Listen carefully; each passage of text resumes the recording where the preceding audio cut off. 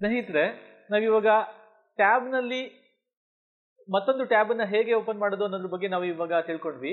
ಇವಾಗ ನಾವು ನಮ್ಮ ಮೊಬೈಲ್ನಲ್ಲೂ ಕೂಡ ಒಂದು ಬುಕ್ ಮಾರ್ಕನ್ನು ಮಾಡ್ಬೋದು. ಅಂದ್ರೆ ನಾವು ಯಾವುದೇ ಒಂದು ವೆಬ್ಸೈಟನ್ನು ನೆನ್ಪಿಟ್ಕೊಳ್ಳೋದಕ್ಕೆ ಕಷ್ಟ ಆಗುತ್ತೆ ಅಂತಂದ್ರೆ ನಾವು ಬುಕ್ ಮಾರ್ಕ್ ಮಾಡ್ತೀವಿ. ಅಂದ್ರೆ ಯಾವುದೇ ಒಂದು ಹಿಂದೆ ಯಾವುದೋ ಒಂದು ನೋಡಿರ್ತೀವಿ. ಅದೇ ತರ ನಾವು ಮತ್ತೆ ಇನ್ನೊಂದ್ಸಲ ಯಾವಾಗಲೂ ನೋಡ್ಬೇಕಾಗತ್ತೆ. ಅದು ನಮ್ಗೆ ಏನಾದರೂ ಮರ್ತೋಗ್ಬಿಡುತ್ತೆ ಅಂತ ಅಂದ್ಬಿಟ್ಟು ನಾವು ಅದನ್ನ ಬುಕ್ ಮಾರ್ಕ್ ಮಾಡ್ತೇವೆ. ಅದೇ ತರ ಇವಾಗ ನಾವು ಇವಾಗ ನಮ್ಮ ಮೊಬೈಲ್ನಲ್ಲಿ ಹೇಗೆ ಬುಕ್ ಮಾರ್ಕ್ ಮಾಡೋದು ಅನ್ನೋದ್ರ ಬಗ್ಗೆ ನಾವು ಇವಾಗ ತಿಳ್ಕೊಳ್ಳೋಣ. ಈಗ ಒಂದು ವೆಬ್ ಪೇಜ್ನ ಹೇಗೆ ಬುಕ್ ಮಾರ್ಕ್ ಮಾಡ್ಕೊಳ್ಳೋದು ಅಂತಂದ್ರೆ ಈಗ ನಾನು ಮೊದಲು ನನ್ನ ಮೊಬೈಲ್ನ ಆನ್ ಮಾಡ್ಕೊತೇನೆ.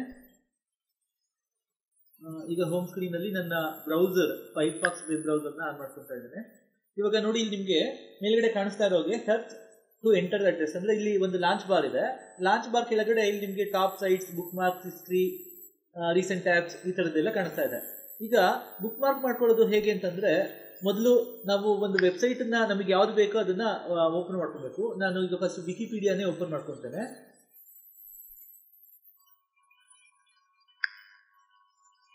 ಈಗ ವಿಕಿಪೀಡಿಯಾ ವೆಬ್ಸೈಟ್ ಓಪನ್ ಆಗಿದೆ. ಈಗ ಇದನ್ನ ನಾನು ಬುಕ್ ಮಾರ್ಕ್ ಮಾಡ್ಕೊಳ್ಳೋದು ಹೇಗೆ ಅಂತಂದ್ರೆ, ಇಲ್ಲಿ ಮೇಲ್ಗಡೆ ಮೂರು ಡಾಟ್ಗಳು ಕಾಣಿಸ್ತಾ ಇದೆ. ಆ ಡಾಟ್ ಮೇಲೆ ನಾವು ಕ್ಲಿಕ್ ಮಾಡಿದ್ರೆ, ಈ ತರ ಈಗ ನಿಮ್ಗೆ ಇದೊಂದು ವಿಂಡೋ ಓಪನ್ ಆಗುತ್ತೆ. ಆ ವಿಂಡೋನಲ್ಲಿ ಇಲ್ಲಿ ನಿಮಗೆ ಒಂದು ಸ್ಟಾರ್ ಮಾರ್ಕ್ ಕಾಣಿಸ್ತಾ ಇದೆ. ಆ ಸ್ಟಾರ್ ಮಾರ್ಕ್ ಮೇಲೆ ಹೋಗಿ ನಾವು ಕ್ಲಿಕ್ ಮಾಡಿದ್ರೆ ಇಲ್ಲಿ ನೋಡಿ ನಿಮಗೆ ಬುಕ್ ಮಾರ್ಕ್ ಆಡೆಡ್ ಅಂತ ಬರ್ತು ಅಂದ್ರೆ ಈ ಒಂದು ವೆಬ್ಸೈಟ್ ಇವಾಗ ಬುಕ್ ಮಾರ್ಕ್ ಆಗಿದೆ. ಆ ಬುಕ್ ಮಾರ್ಕ್ ಅನ್ನ ನೀವು ಮತ್ತೆ ಓಪನ್ ಮಾಡ್ಬೇಕಂತಂದ್ರೆ ಅದು ಇವಾಗ ಬುಕ್ ಮಾರ್ಕ್ ಮಾಡಿರೋದ್ರಿಂದ ಈಸಿ ಆಗುತ್ತೆ. ನಾವು ಇವಾಗ ಇನ್ನೊಂದ್ಸಲ ಅದನ್ನ ನೋಡೋಣ. ಇಲ್ಲಿ ಹೋಗಿ ನೋಡಿ ಅದು ಸ್ಟಾರ್ ಬ್ಲೂ ಕಲರ್ ಆಗಿ ಟರ್ನ್ ಆಗಿದೆ.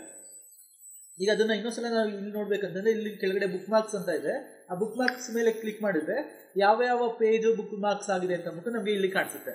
ಇದ್ರ ಮೂಲಕನೂ ಕೂಡ ನೀವು ಓಪನ್ ಮಾಡ್ಕೊಬಹುದು ಇಲ್ಲಿ ನೋಡಿ ಇಲ್ಲಿ ವಿಕಿಪೀಡಿಯಾ ಅಂತ ಮೊದಲನೇ ಮೊದಲನೇದಾಗಿ ಕಾಣಿಸ್ತಾ ಇದೆ. ಸೊ ಇಲ್ಲಿ ನೀವು ಇದನ್ನ ಕ್ಲಿಕ್ ಮಾಡಿದ್ರೆ, ನೋಡಿ ಮತ್ತೆ ಅದು ವೆಬ್ ಪೇಜ್ ಓಪನ್ ಆಗುತ್ತೆ. ಸೊ ಈ ತರನೂ ಓಪನ್ ಮಾಡ್ಕೋಬಹುದು ಅಥವಾ ನೀವು ಮತ್ತೆ ಇನ್ನೊಂದ್ಸಲ ಓಪನ್ ಮಾಡ್ಕೊಬೇಕಂತಂದ್ರೆ ಇಲ್ಲಿ ಫಸ್ಟ್ ಲಾಂಚ್ ಆದ ತಕ್ಷಣ ನಿಮಗೆ ಈ ತರ ಕಾಣಿಸುತ್ತೆ. ಮೇಲ್ಗಡೆ top site bookmark history ಅಂತ ಕಾಣಿಸುತ್ತೆ. ಈಗ ನೀವು ಇಲ್ಲಿ ಬುಕ್ ಮಾರ್ಕ್ ಮೇಲೆ ಕ್ಲಿಕ್ ಮಾಡಿದ್ರೆ ಇದು ಕಾಣಿಸುತ್ತೆ ನಿಮಗೆ. ಈ ಒಂದು ವಿಂಡೋ ಓಪನ್ ಆಗುತ್ತೆ. ಇದರಲ್ಲಿ ಯಾವ ಯಾವ ವೆಬ್ಸೈಟ್ಗಳು ಆಲ್ರೆಡಿ ಬುಕ್ ಮಾರ್ಕ್ ಆಗಿದೆ ಅಂತ ತೋರಿಸುತ್ತೆ. ಈಗ ನಾನು ಆಲ್ರೆಡಿ ಬುಕ್ ಮಾರ್ಕ್ ಮಾಡಿರೋದ್ರಿಂದ ಇಲ್ಲಿ ವಿಕಿಪೀಡಿಯಾ ಅಂತ ಅಂದ್ಬಿಟ್ಟು ನಮಗೆ ಈಗ ಕಾಣಿಸ್ತಾ ಇದೆ. ಸೊ ಇದ್ರ ಮೇಲೆ ಕ್ಲಿಕ್ ಮಾಡೋದ್ರ ಮೂಲಕ ಈ ಒಂದು ವೆಬ್ಸೈಟ್ ಅನ್ನ ನಾನು ಓಪನ್ ಮಾಡ್ಕೊಬೋದು. ಈ ರೀತಿ ನಾವು ಇವಾಗ ಬುಕ್ ಮಾರ್ಕ್ ಒಂದು ವೆಬ್ಸೈಟ್ ಅನ್ನ ಹೇಗೆ ಬುಕ್ ಮಾರ್ಕ್ ಮಾಡ್ಕೊಳ್ಳೋದು ಅನ್ನೋದ್ರ ಬಗ್ಗೆ ನಾವು ಇವಾಗ ತಿಳ್ಕೊಂಡಿದ್ದೇವೆ.